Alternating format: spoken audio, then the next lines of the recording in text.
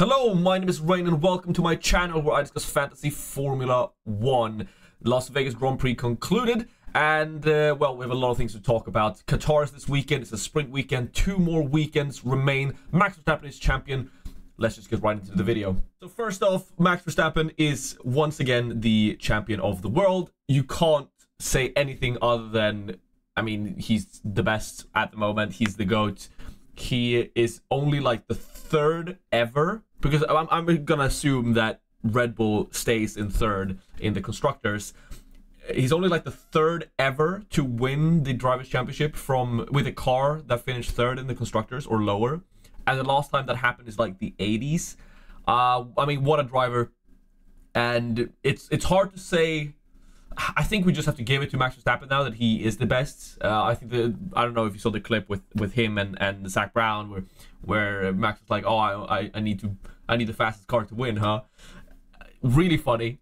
Uh, I love Max. I've said that before. I love Max. I'm just not a Red Bull fan, but Red Bull need to pull pull some stuff together if they're going to replicate that next year. Because with the way the car is right now, and especially the way Checo's driving, they're not getting anywhere close to the uh, the constructors. Not even close. But there will be a uh, a lot of pressure to keep the momentum up and win a fifth consecutive title for Max. But considering how good the other teams behind him are, I'm talking McLaren, I'm talking Ferrari, I'm talking Mercedes this time in Vegas. If they keep taking points of each other and Max continues to be the ever consistent and just keeps getting those P2, P3, P4, finishing as high as the car's physically able to finish, he he is the front runner for next year, even if the car is the third best. So, with that said, let's move over from the F1 talk and talk about the good stuff, the F1 fantasy stuff. Uh, so this was my team. If you didn't watch the deadline stream, I ended up transferring Piastri out for Sainz and Yuki Tsunoda out for Nico Hulkenberg. And the justification was that uh, I had looked at Mercedes a lot, and I thought the Mercedes would be really good in qualifying. I just didn't think that would replicate in the race pace. There was a lot of calculations on the on the long run pace from the free practice sessions where Mercedes did not look to be the best. But the Mercedes just sometimes works, and this was one of the races where it works. But how it ended up with the constructor points, even though Mercedes finished a 1 2 with Hamilton climbing from 10th, right? They were not that far ahead of McLaren and Ferrari in terms of points. Right, let's go to the almost filled out F1 Fantasy Tool site and look at uh, look at the results here. I mean, Hamilton obviously got driver of the day. I think Russell is like the only driver, bar like Norris, who's not getting driver of the day for wins anymore.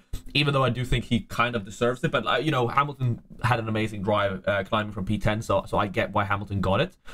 But scrolling down to the constructor side, even though Mercedes got a 1-2 finish, they only finished 10 points above Ferrari and only 16 points above McLaren. So I don't actually feel that bad that I didn't go for for the Mercedes punt. I I did make uh, some plans about it. I'm a, if you saw my my team selection video, that was that was a big part of it. How I could fit Mercedes in if I wanted them.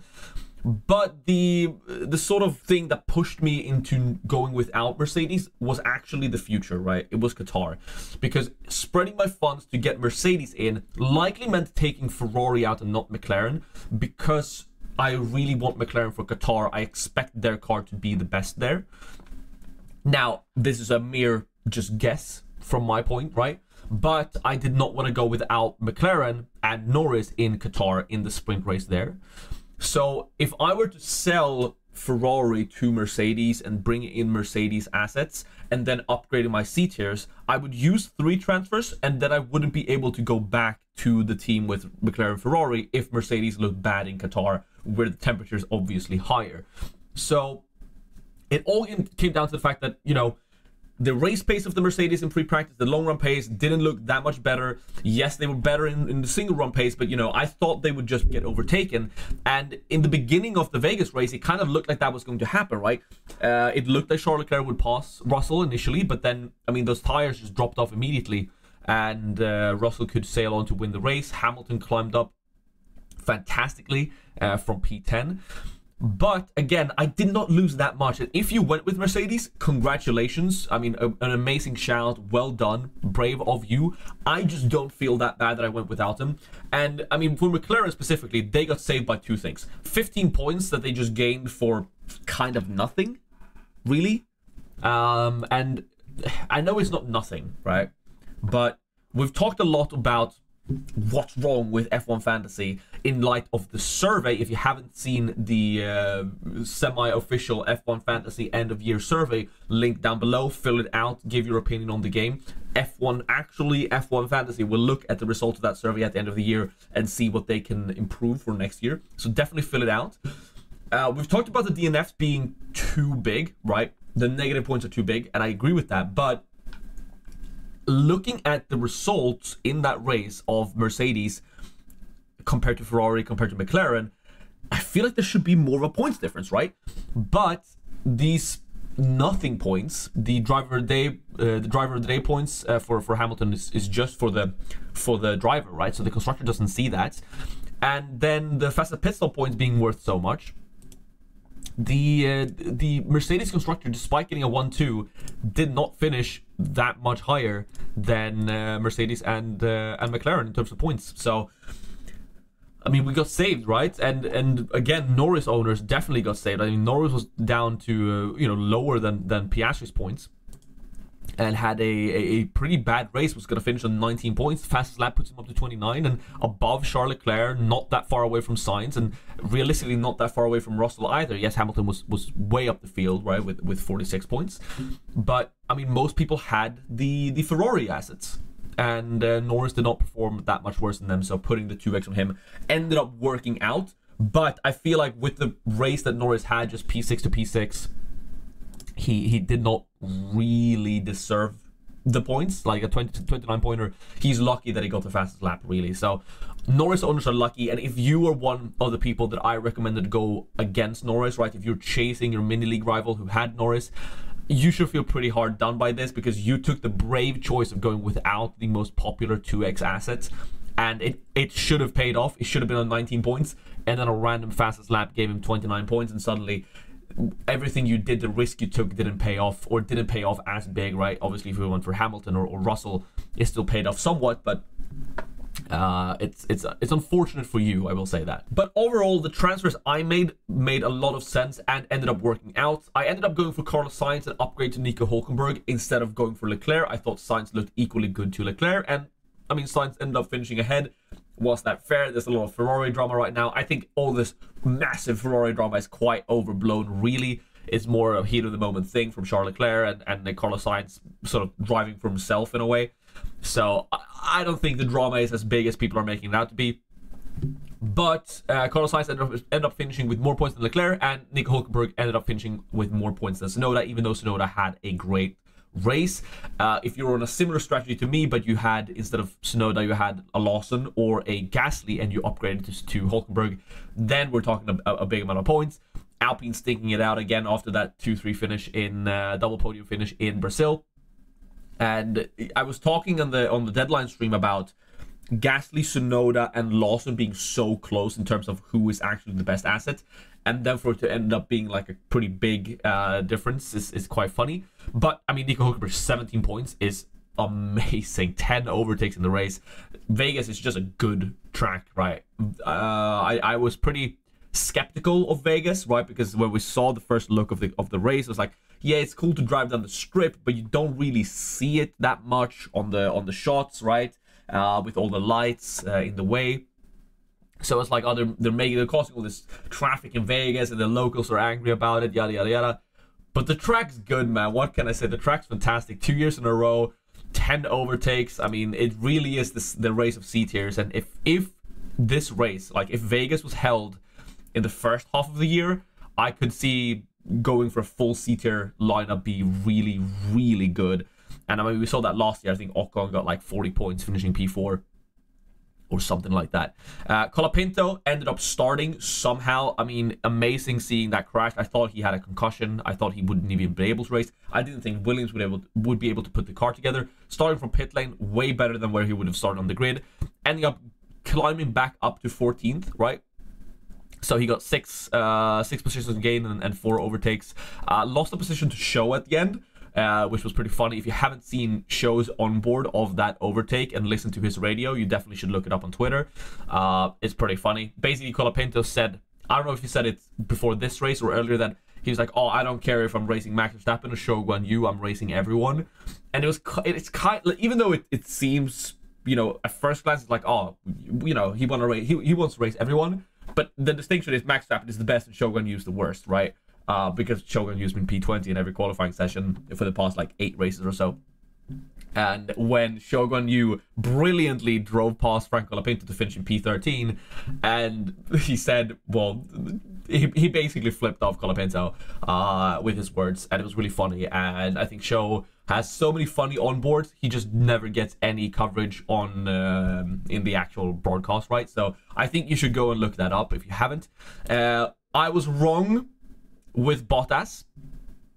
I don't know what happened with Bottas. I didn't I didn't expect much, right? He started P19, only Colapinto in the pit lane behind him.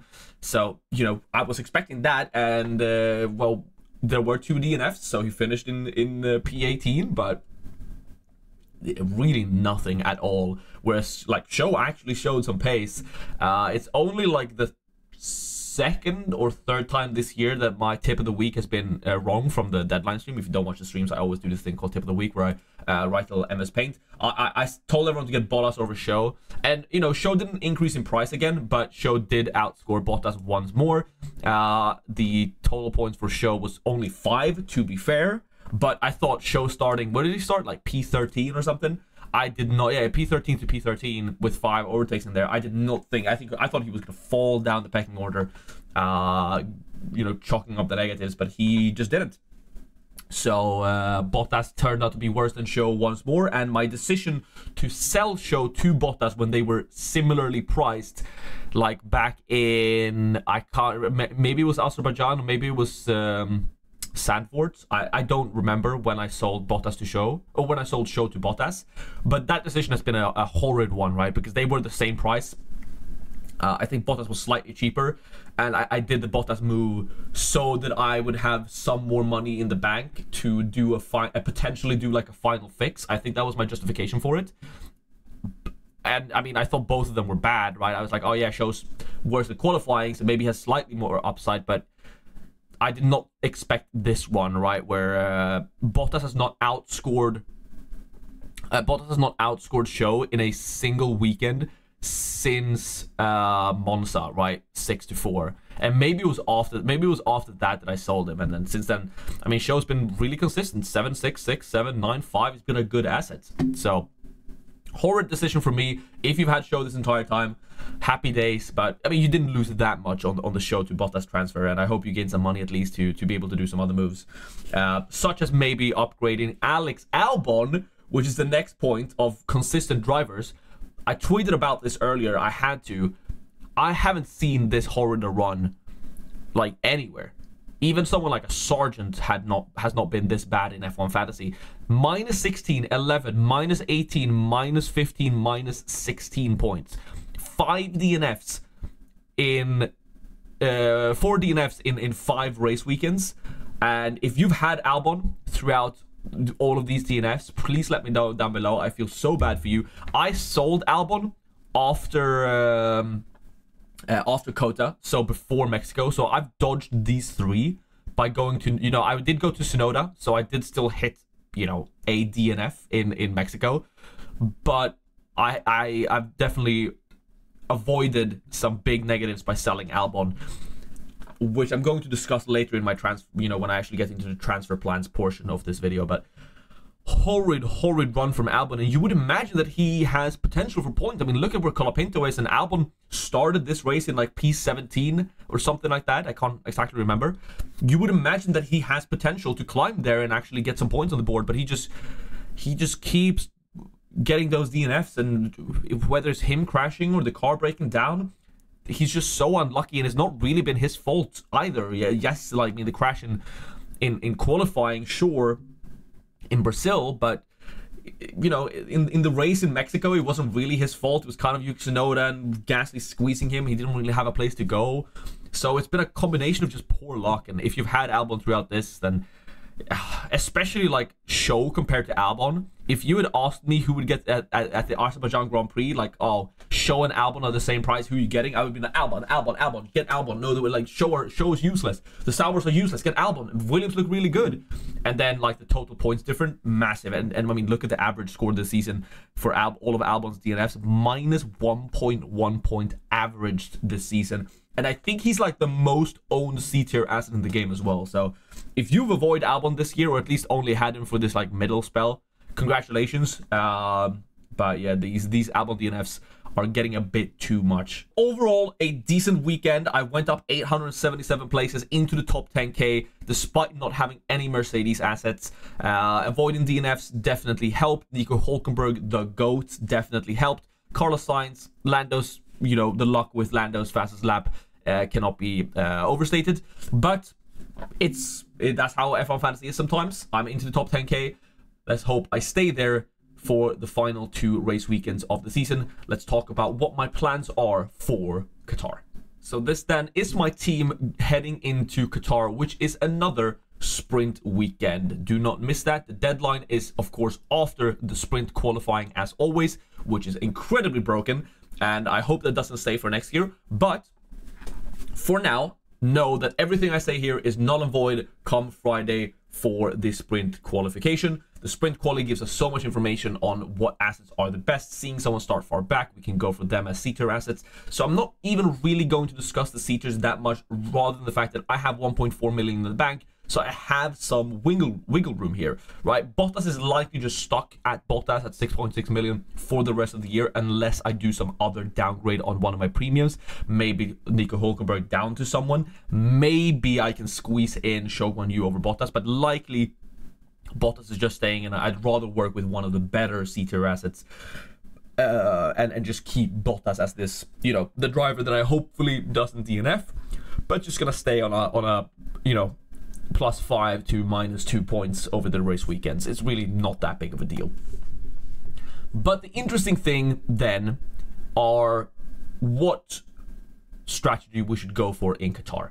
I know a lot of people have chips remaining, and I'll, if I have time, I'll, I'll make a separate video about the chips uh, for the end of the season. I don't have any chips, and this is my transfer plans, so I'm going to leave that out of it for now. But I'm gonna, you know, I know a lot of people will be using things like the triple DRS this week, which means that I'm not expecting to come out of this week with a blue arrow. I'm expecting to get a red arrow.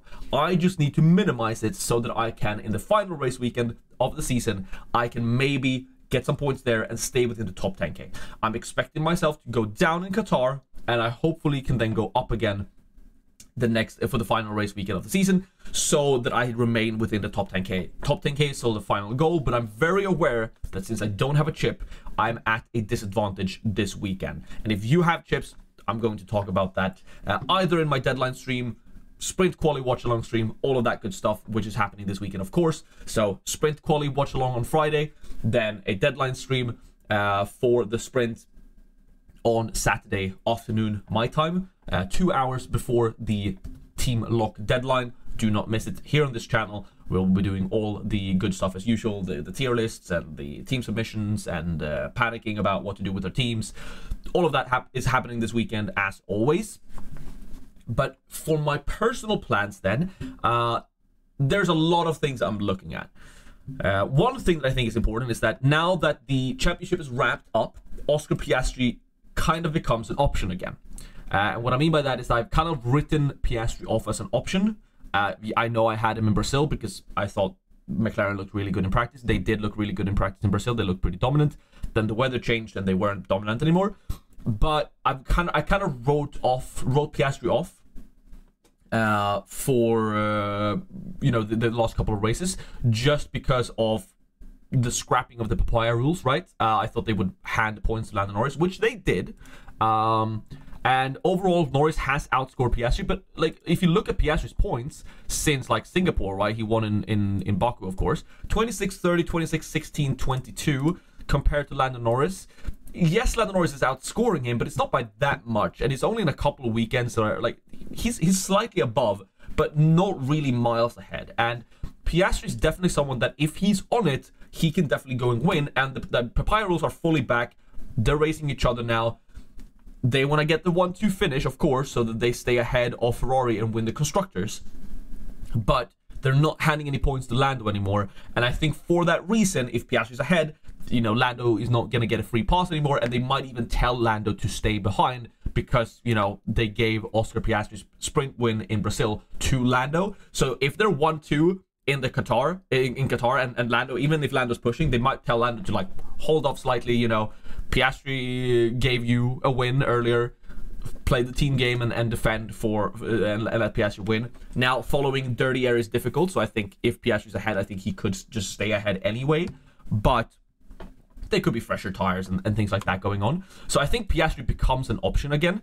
Uh, he has been consistent, right? He, he's the, the one driver who hasn't DNF'd all year. So that's something to to add into it, and he could go DNF less throughout this year, and especially if McLaren look good uh, in in practice, and we're expecting McLaren to be good in Qatar, he could be a really really good asset to get in for a triple McLaren uh, build once again. The problem with that, which you I think you can see right here, is that Oscar Piastri is grayed out.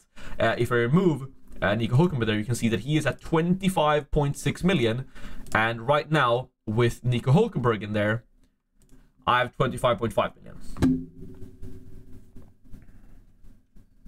So I can't. Uh, I can't get Piastri in without making another transfer. Now, is that the end of the world? Not really. Uh, this is if I want to keep Lando Norris, of course.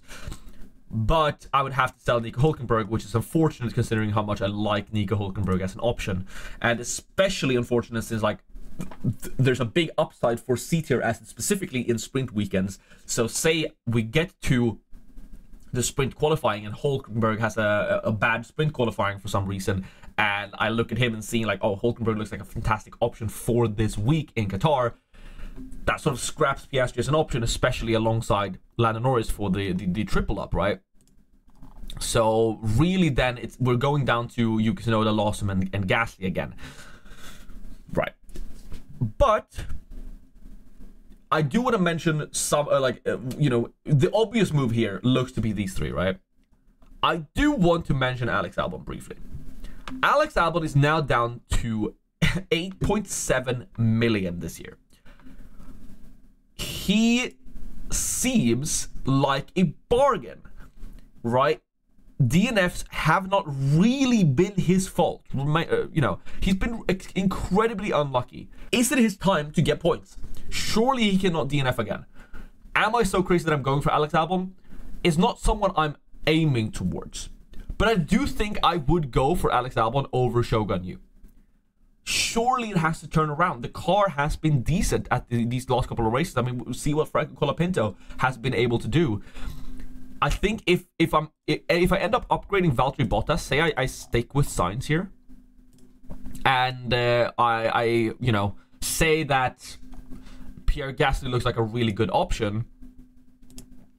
Uh, for you know he's starting P20 in the qualification after something happened, uh, just say that Pierre Gasly looks really really good after a, a mistake in the sprint qualification, and then I'm expecting him to be right up there, being like P7 in the main qualification for the main race, right? So I'm expecting Gasly to be good this weekend in Qatar. I can upgrade Bottas to Alex Albon, right? Again, I don't want to talk too much about the C tiers, but I don't think Albon is that bad of an option. You can't look at past points and expect that to continue, really. You have to look at the future and see whether he's a good option going forward. And the Williams has abilities to overtake. And surely his luck has to end, uh, his bad luck has to end at some point. So, uh, I don't think just because of all of the DNFs on Albon, I don't think it's that bad, right? I said Williams were bad this weekend because of their lack of parts, but surely now they fixed Colapinto's car.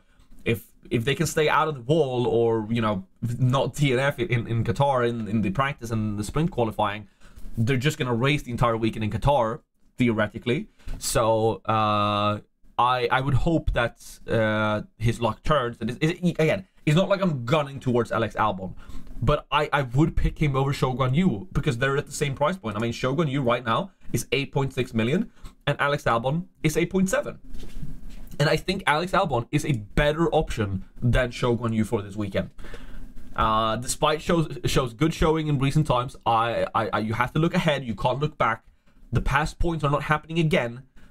There could be a trend there, but again, I do think this trend of his DNFs has to end at some point.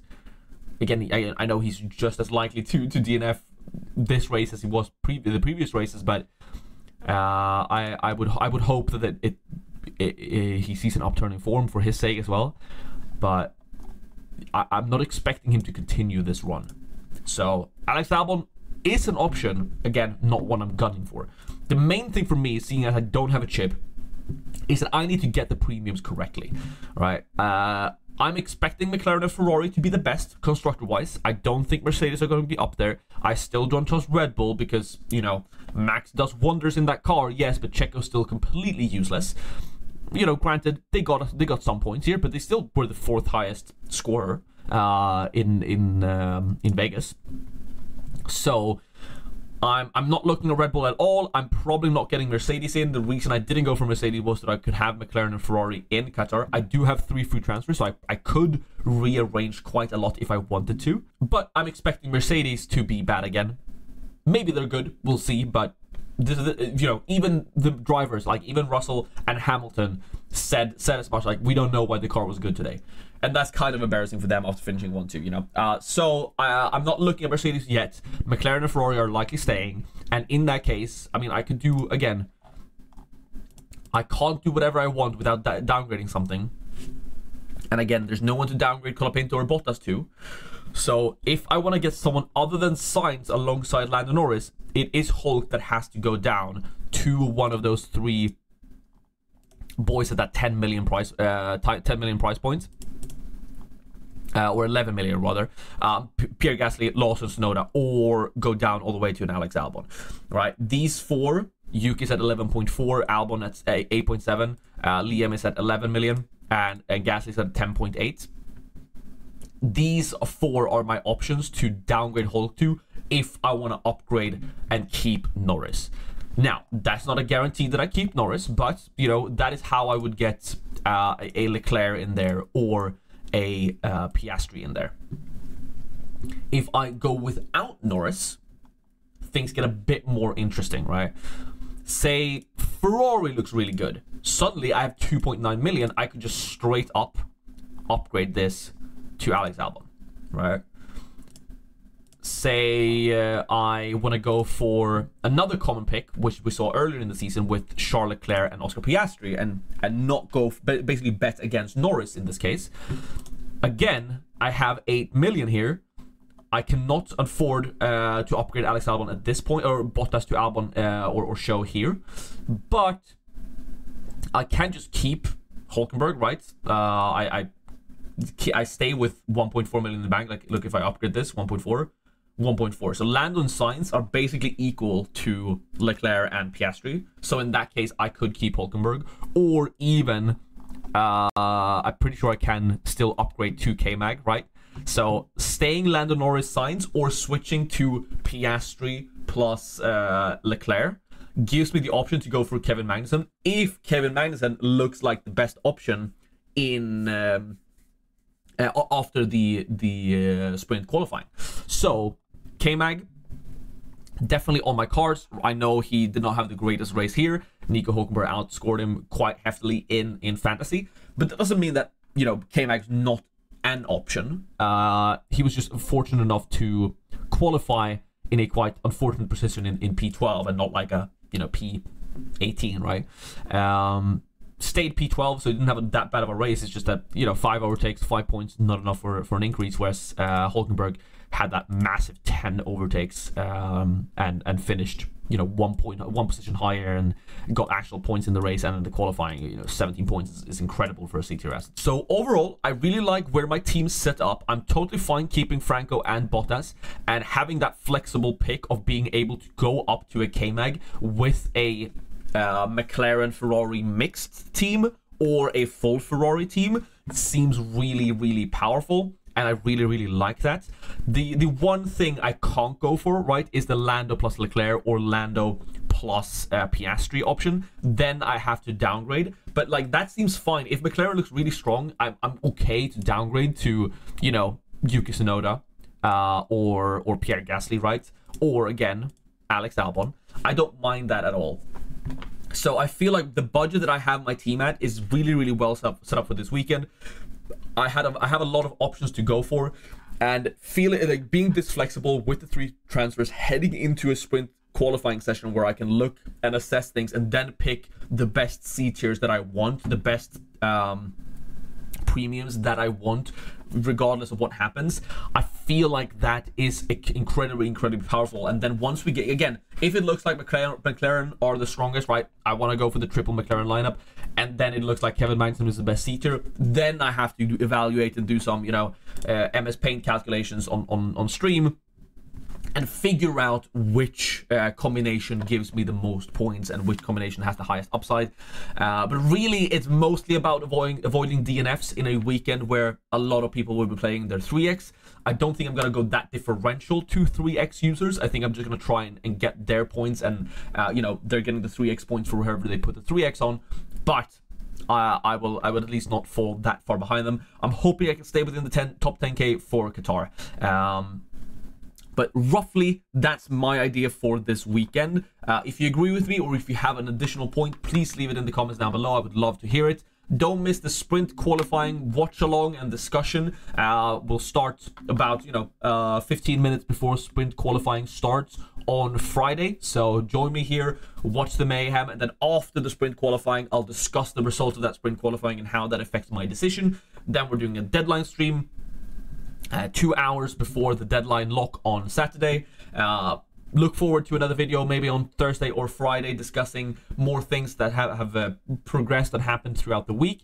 Uh, if you haven't already, fill out the survey link in the description below to properly leave your thoughts uh, on the F1 fantasy game for next year. I'm super excited for the survey, the results of that. I will be talking about that more in the off season, the results of that.